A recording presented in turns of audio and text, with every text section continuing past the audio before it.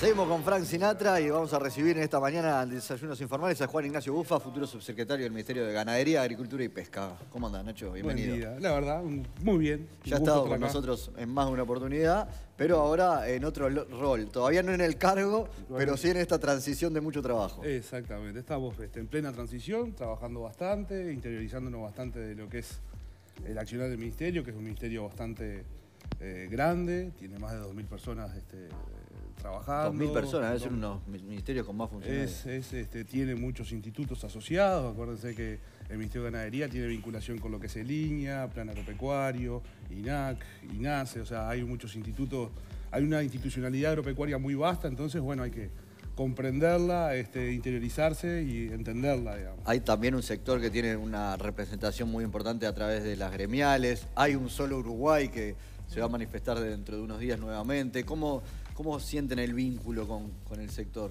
A Son ver. gente que viene del sector, ¿no? Tanto vos Sí. como el ministro. Sí, este, digamos, nosotros, este, a ver, la, la institucionalidad agropecuaria o, la o los- las gremiales agropecuarias tiene un rol fundamental, digamos, en el accionar de- del- del gobierno y en el accionar de, este, la- de- de entender la realidad con que está pasando el sector. Ahí tenemos un vínculo muy fluido, venimos de la actividad privada, los con- conocemos a la actividad que desarrolla tanto la Federación, Comisión Nacional, Asociación Ru- Rural, eh, CAF.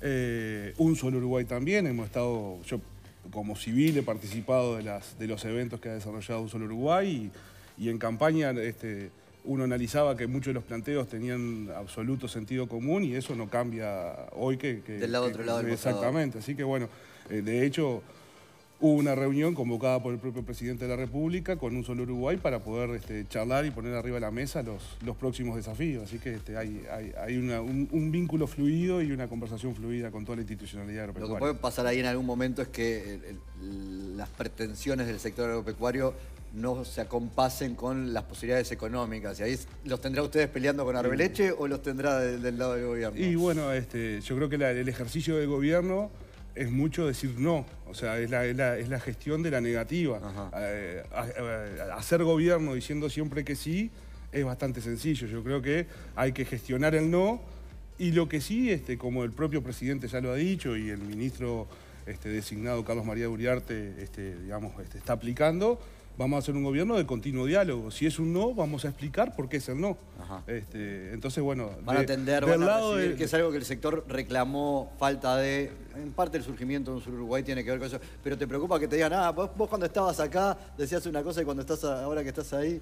Eh, bueno, eh, es parte de las reglas del juego, no me preocupa, sé que eso va- puede llegar a suceder y bueno, y vamos, lo, lo que sí, eh, en, una mesa siempre al lado del gobierno va a haber gente sentada, este, el Ministerio de Ganadería, para poder discutir los temas y poder plantear los temas arriba de la mesa y las restricciones que hay.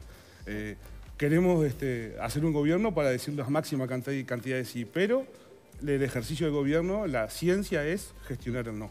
Ignacio, el movimiento Un Solo Uruguay surgió un poco pidiendo, reclamando un diálogo más fluido con el gobierno, reclamando eh, bajar los costos de producción. En aquel, eh, ahora, hoy por hoy, como están planteadas las cosas, el tema de la inseguridad en el campo cobra otra relevancia más allá de estos temas que ya estaban planteados. Sí, este, indudablemente hay, hay, un- hay una problemática muy seria asociada a la falta de competitividad en muchos sectores y eso sigue vigente. El tema de la seguridad rural es un tema que nosotros en campaña, este, digamos, lo habíamos jerarquizado y puesto arriba de la mesa.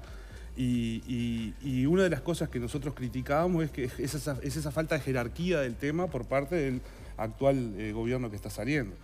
Eh, Con el abigeato como principal problema dentro de lo que es la situación Sí, de es el abigeato y es la seguridad rural. Hace Claro. poquito eh, teníamos en Salta una situación de, de violencia extrema contra una familia y donde hay un lesionado. Eh, digamos, yo creo que el tema de la seguridad rural es mucho más que el abigeato, es, este, es el robo, es el robo de ganado, es el robo de combustible, es el robo este, de, de insumos agropecuarios, maquinaria, pero es un tema inherentemente humano. Pero Eh, la seguridad ¿Qué- se vive de una manera Eh, distinta cuando uno está solo allá.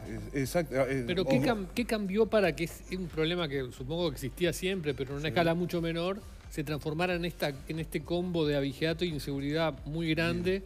¿Qué fue lo que cambió? Ah, Mi opinión de lo que cambió fue eh, tomar un compromiso que teníamos en campaña y que era coincidente con el Partido Colorado, con Carlos María también, este, en algunas instancias que tuvimos contigo Sí. eh, coincidíamos, es, es poner el tema arriba de la mesa. Acá hay un ministro del Interior que puso el tema arriba de la mesa y dijo de que se va a crear una unidad de seguridad rural. Yo creo que ese es el tema. Cuando la, la gente empieza a conversar de los temas, se jerarquiza. Una de las cosas que nosotros este, reclamábamos en campaña era la falta de jerarquía del tema. Y hoy tenemos un ministro del Interior y un ministro de Ganadería que están discutiendo el tema y que están este, generando instancias de trabajo en estos días para poder avanzar en medidas concretas y la implementación de esa unidad de seguridad rural. Yo creo que lo que pasó fue que eh, se iluminó una situación que se estaba dando. Tenemos situación de abigeato, como vos bien decís, desde hace bastante tiempo, pero acá hay un gobierno entrante que puso el tema arriba de la mesa con sus principales figuras políticas. ¿no? Yo yo me refería, está bien, eso es un cambio ahora, pero ¿qué cambió en el Uruguay para que ese tema se disparara? ¿Es un problema policial o es un problema cultural? ¿Es un problema de la sociedad eh, rural? Está, está muy buena la pregunta. Primero, eh, para contestar esa se necesita información. O sea, los datos de abigeato, o sea, las denuncias de abigeato no son, no, no están muy públicas, uno no las puede encontrar, uno que es bastante ducho en el manejo de la información y buscando información de varios lados, se le dificulta bastante encontrar. Por ahí encuentra algunas referencias en presentaciones más reservadas, que las denuncias de abigeato son en torno de 2.000. ¿Qué vienen subiendo? Es ¿Por otro año? dato, por año, que vienen subiendo. Eh, pero no hay datos contundentes que vos puedas decir, este, esta problemática ha tenido esta trayectoria y estas son las, las- las zonas mucho más, eh, más sensibles con respecto a este tema. Hay una, hay una falta de información para la toma de decisiones que creemos que es fundamental, tener datos para tomar decisiones. Eh, No hay datos, pero el tema se percibe como que viene empeorando, sobre todo Sí. con las palabras de un ministro entrante que dice que eh, vale es más negocio en Uruguay este, robar que trabajar por el precio de la carne y refiriéndose al abigeato. ¿Coincidís con esas expresiones? a ver, no, no la, digamos, no... Digo, es una manera de decir que Es la situación manera- yo- está muy eh, difícil. Exactamente, yo creo obviamente. que lo que, lo- lo- digamos, no voy a interpretar las, palabras del ministro, pero creo que lo que puso el ministro arriba de la mesa fue eh, que hoy es un tema de, mucha relevancia por el efecto directo que tiene, que, es importante y sobre todo para los pequeños productores, pero por sobre todo como señal eh, al resto de la cadena productiva. O sea, que, este, si nosotros estamos en un negocio en donde hay un componente de inseguridad que nos está atacando o, o estamos este, siendo afectados, ¿cómo podemos reaccionar el resto de la cadena, el resto de la cadena productiva? O sea, no, estar- no estamos del todo seguros. Entonces hay un efecto más de estímulo y, de, mejor dicho, de desestímulo a los productores a raíz de esta problemática. Eh, y eso, eh, digamos, para mí lo, lo principal de este tema es la jerarquía o el realce que le ha puesto el gobierno en torno a, a la vigilancia. Claro, eh, un poco lo que plantea Uriarte es, las condiciones están difíciles para producir, por lo que hablábamos antes y ahora podemos volver respecto a la competitividad, y eh, del otro lado aparece este asunto donde eh, se complica la, la situación y, y la falta de respuestas que hay. Eh, y, y por lo tanto es más fácil para el que quiere robar al que, que- que para el que quiere producir. Ahora, pensando en el que quiere producir, ¿cuáles son los, los pasos para, de alguna manera, atender esas, esas demandas que van a estar de vuelta en la proclama del próximo 23 de enero con las restricciones económicas que hay? ¿no? ¿Cuáles son los, los primeros puntos a, a atender o las primeras cosas que- en las que se pueda- va a poder dar una respuesta? Bueno, ¿cuál es la, la agenda con respecto a esto, Sí. digamos? Eh, primero hay, hay- este tema obviamente lo, lo va a liderar el Ministerio del Interior. Eh, hay una reunión convocada para estos días de trabajo para empezar la- este, los detalles de la implementación de la implementación de esta unidad de seguridad rural. Eh, algunas cosas que nosotros hemos manejado en, en campaña y digamos y que, que- que lo hemos charlado este, eh, en términos generales. eh, nosotros proponíamos el desarrollo de esta unidad de seguridad rural que en principio eh, se basaba fuertemente en una reorganización eh, de la propia estructura del Ministerio del Interior, o sea, había este, recursos asociados para eso. Hay un componente, hay una, hay, el tema del abigeato es, es- te, te- vu- vuelvo un poquito para, para atrás. Abordar el tema del vigilato no o resolver el tema del vigilato no es cuestión de Messi, es cuestión de equipo. Acá el vigilato, para resolverlo, tienen que coordinarse varias figuras. ¿Cuáles son esas figuras?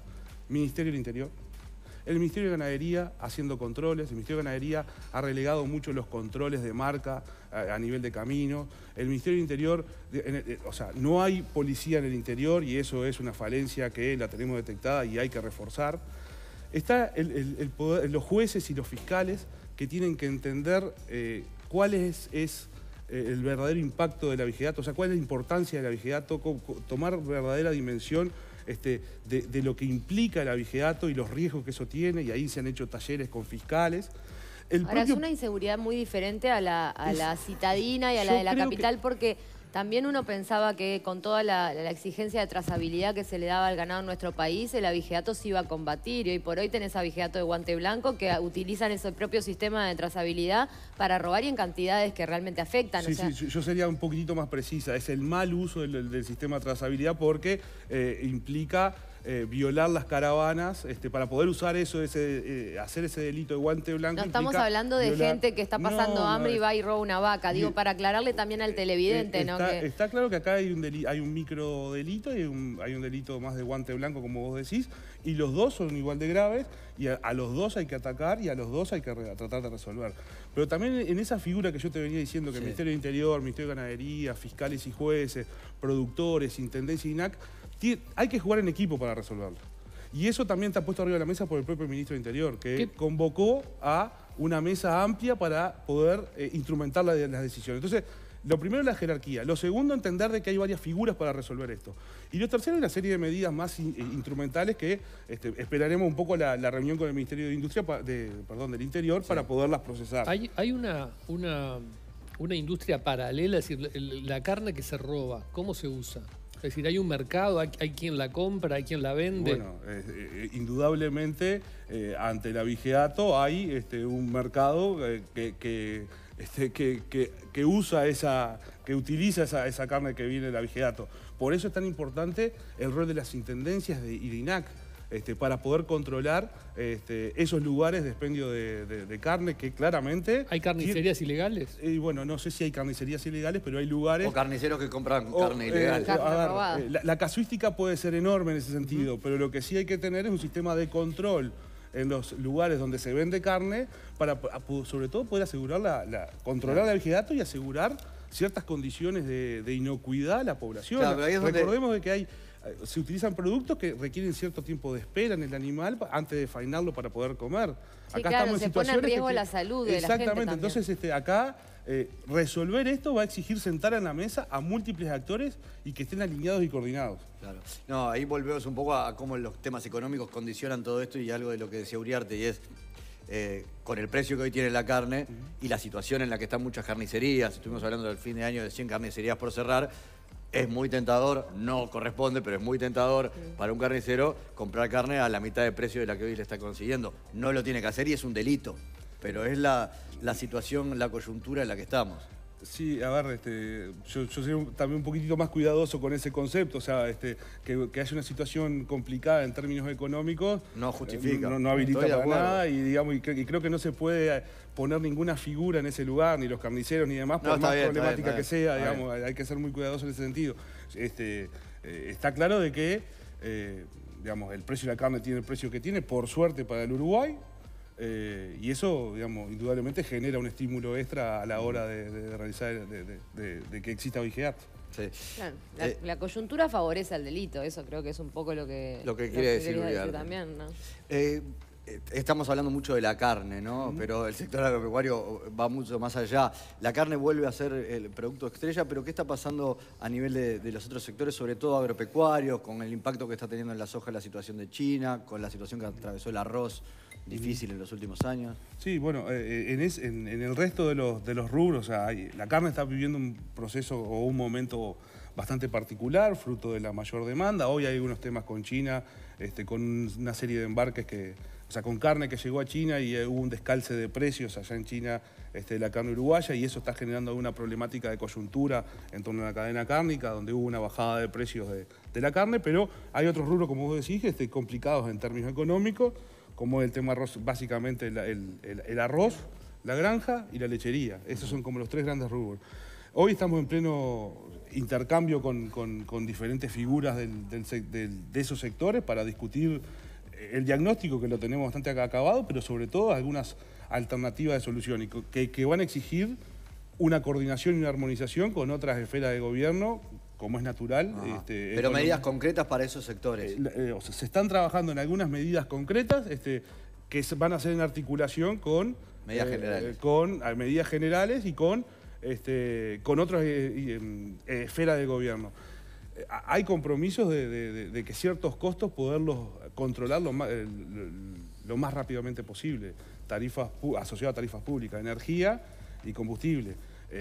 Estamos en plena transición y proceso de discusión de cómo quedan las cuentas públicas, por lo tanto no se puede este, hacer, un compromiso. hacer un compromiso explícito con respecto a eso. La intención Está clara. Hay que controlar ciertos costos que son relevantes para su sistema. Otro tema que se quejan sobre todo los productores de ovejas son las jaurías. Este, las jaurías de, sí, jaurías. Mm. Este, eh, algunas declaraciones del ministro ya han provocado que los protectores de animales se pusieran este, en contra, digamos. Este, ¿cómo, ¿Cómo ve ese problema? ¿Cómo se van a controlar esas jaurías? Bien. Acá, eh, justamente, eh, diste la palabra, o mencionaste la palabra clave, acá no hay un control. Eh, nosotros, este, en el plan de gobierno teníamos este, diseñado un instituto de bienestar animal en donde tenía uno de los cometidos era poder encarar el tema de, los perros, que son indudablemente un problema muy grande y sobre todo para pequeños productores cerca de las ciudades. En ese sentido, lo que tenemos, hay, hay, tres, tres, componentes de ese, o, tres énfasis en ese, en ese Instituto de Bienestar Animal. El primero es el control. O sea, tenemos que desarrollar un control este, de, los, de, los, perros que eh, tienen tenedores o no tienen tenedores. Y, que, y, donde se identifique un tenedor hay que exigir la normativa, que esté chipeado, que esté castrado. Eh, segundo, hay que generar un sistema de, eh, de, poder este, resolver los temas de esos perros que están sueltos. y en coordinación con esos, esas ONG que están este, trabajando en el tema y mucho trabajando en el tema de eh, de esas ONG trabajando en, el tema de los perros. Pero es un tema que lo tenemos que poner arriba de la mesa, articular con los privados y lo público eh, hacer un énfasis muy grande en, los aspectos de control que no se han realizado por parte de este gobierno. ¿Se puede este llegar a sacrificar esos animales? Yo creo que, es... Eh, esa es plantearlo en esos términos es la, es la es la forma de no encontrar la solución. Yo lo que creo es que hay que sentar a la mesa a todos los actores involucrados, y en esto es los privados, el gobierno, las ONG, eh, de eh, diseñar una lista de acciones concretas a, realizarla y empezar a transitar un camino. Pero que estamos hablando de, eh, perdón, pero entonces sería una solución gradual y no radical de primera, digamos. Yo creo que, o sea, eso es lo que está planteado en nuestro plan de gobierno. La instrumentación de esto va, va, a depender si está incluido en la ley de urgente consideración este Instituto de Investigación Animal o no, o sea que todavía no, no, es pública. Y del dinero, porque Cotriba no, ha tenido, no ha tenido presupuesto para fiscalizar el propio chipeo que no tuvo resultado. Totalmente de acuerdo. Pero ¿hay posibilidad de derivar fondos para ese tipo de tareas? el tema de las patentes. Hoy, se, hoy hay 80.000 patentes por año y, y tenemos eh, perros con tenedores responsables en torno al 1.200.000, 1.300.000. Y en total cerca de los 2 millones. Y en total cerca de 2 millones según el último censo que, claro, te das cuenta que estamos hablando de decenas, cientos de miles de perros sin dueño de los que hay que encargarse. Tenemos, o sea, tenemos que, iniciar un proceso de control del tema de las patentes, que ahí es una fuente de recursos este, interesante para poder resolver el tema. Pero lo que sí este tema no lo podemos esconder más. Tenemos que ponerlo arriba de la mesa, poner los actores a, trabajar en torno arriba de la mesa y no arrancar este, de una manera en la cual no se van a controlar. No, y además de esa manera se es corresponsable a ese millón doscientos mil tenedores de perros que hoy pagamos la patente los que queremos. Exactamente. Que no quiere no paga y no pasa nada. Y 80.000 es, es el número de patentes por año. Ah, porque tampoco se tiene claro qué pasa con los recursos. el tema de los recursos para la fiscalización es uno de los principales. Ahora que están este, atravesando la transición, eh, están contando con toda la información que solicitaron. ¿Creen que este, que este gobierno pudo hacer más por los productores rurales en términos de, bajar costos? A ver, este, yo creo que siempre se puede hacer más. Este, uno analiza la, trayectoria de, cierta estructura de costos que dependen del, que dependen del, gobierno y esa trayectoria de costos ha sido eh, bastante crítica para los productores. Entonces, en ese sentido, creemos de que, de que sí se pudo, haber hecho, se pudo haber hecho más en un contexto económico bastante beneficioso para el país. O sea, eh, tuvimos una trayectoria de más de 10 años con una viento de cola. Este, Bien, muy, pero muy- lo- cuando empezó un solo Uruguay a, a- a exigir este, este, esta reducción de costos, ya la, la coyuntura económica era diferente. Allí no se tomaron las medidas necesarias y el nuevo gobierno va, va a tener posibilidad de hacerlo. A ver, eh, eh, yo no estaba en el, el gobierno pasado. eh, yo creo que ahí hubo un tema de actitud con respecto a un solo Uruguay, de no, de, de no recibir y no este, sentarse en la mesa a discutir los planteos. Eh, yo creo que también hay un tema de decisión política en estos temas. Eh, siempre la plata va a ser escasa y siempre va a haber que asignarla este, con criterios políticos. Y ahí creo que los criterios políticos que se tomaron no fueron los, que este, estuvieron alineados con las demandas de los productores.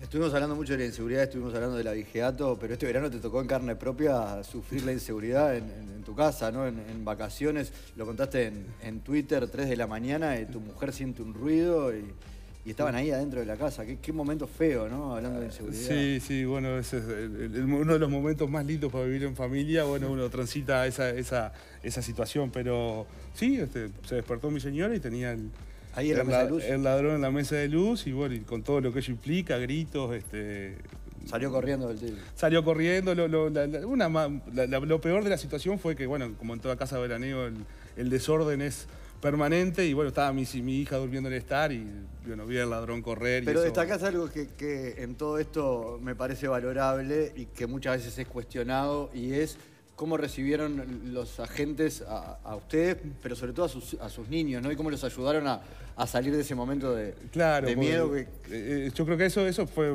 este, fue destacable, tanto de la prefectura, la metropolitana y la policía, que, que bueno, enseguida este, fueron a la casa y, y sobre todo tranquilizaron a, mis gurises que estaban bastante nerviosos con respecto al tema y, y cuando vieron a, como a la autoridad este, realmente se, se- se se tranquilizaron. por Hoy, que- hoy mi hijo quiere ser policía, contabas en Twitter ese día. Exactamente, exactamente. Bueno, así que se llevaron una buena imagen. Sí, sí, totalmente. Muchísimas gracias, Juan Ignacio, por haber venido hoy. por favor, a las órdenes. El Gracias. designado subsecretario de Ganadería, Agricultura y Pesca, Juan Ignacio Bufa, pasada por Desayunos Informales. Vamos a ver cómo sigue el tiempo ya pasadas las 9 de la mañana en Montevideo.